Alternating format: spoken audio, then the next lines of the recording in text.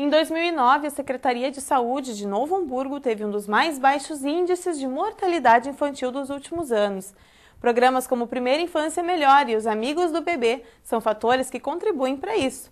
A partir de agora, nós vamos mostrar um pouco de como funciona esse trabalho social.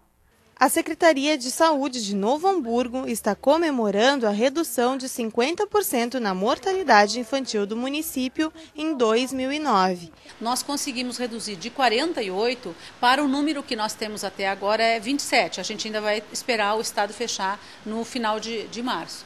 Mas 27 óbitos significa que a gente conseguiu reduzir efetivamente uma, né, de uma forma muito significativa. O trabalho dos projetos que auxiliam os cuidados com as crianças de alta vulnerabilidade social fazem parte desta conquista. O PIM Primeira Infância Melhor é um desses projetos. Ele envolve três secretarias: a de Educação, Desenvolvimento Social e de Saúde. A forma de entrar com as crianças, com as famílias, vai ser uma atividade prática, né? E sempre como envolve criança, vai ter que ter a brincadeira, vai ser por aí que ela vai entrar com as informações, então, de saúde, de cuidado, né? De orientação a essa família para que a própria família passe a se responsabilizar cada vez mais pela educação das suas crianças.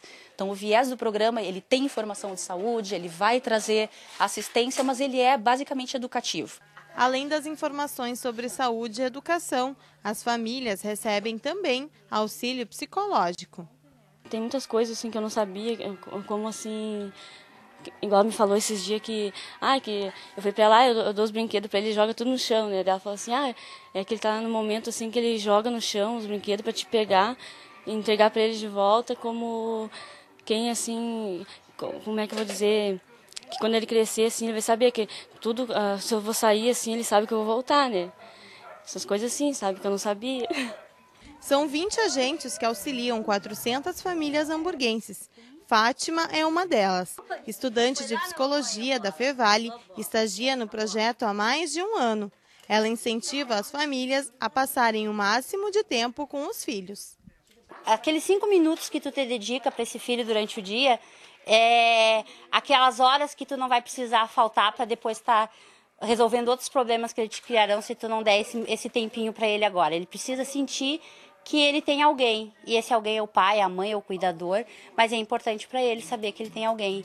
Então, e fazer que as pessoas acreditem que a qualidade desse tempo é importante.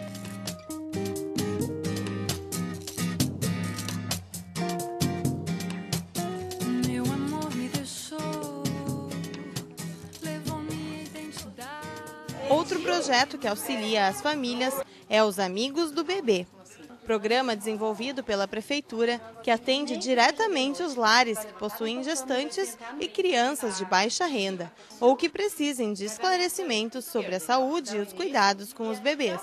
Como é o caso de Grace, 13 anos, mãe do pequeno Gustavo, de dois meses. A avó da criança que ajuda na criação do garotinho aprova o programa. Para mim, acho que vai melhorar bastante para ela agora porque eles fizeram visita, orientaram ela, né? Ela já não sabia, agora já sabe. Então, ser bom. O grupo Amigos do Bebê é voltado para o lado técnico e social e, a partir do último ano, conta também com atendimento psicológico para as famílias e também para a equipe.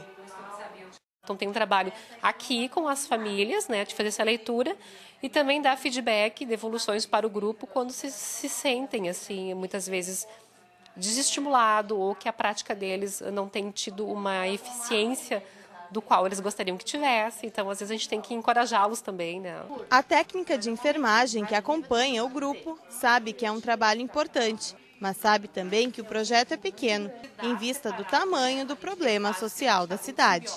É um trabalho formiguinha, diário, mas que a gente se realiza às vezes fica meio triste quando fica, não consegue alcançar né, o, o objetivo, mas estamos sempre na luta. A secretária Clarita de Souza quer garantir os números positivos em 2010. Nós temos agora o caminho de 2010, que é mais difícil ainda, que é nós manter esta redução de 27. Então, nós vamos reformular o pacto pela mortalidade infantil e vamos ampliar as ações para que a gente consiga, no ano de 2010, pelo menos manter este patamar ou então, quem sabe, ainda baixar mais alguma coisa. Todas essas iniciativas contribuem para que mães como Grace e a Catiane possibilitem a seus bebês uma qualidade de vida melhor. E os profissionais engajados nesses projetos são como anjos, que além de auxiliar na garantia desses dados positivos, ainda contribuem para a harmonia das famílias hamburguenses.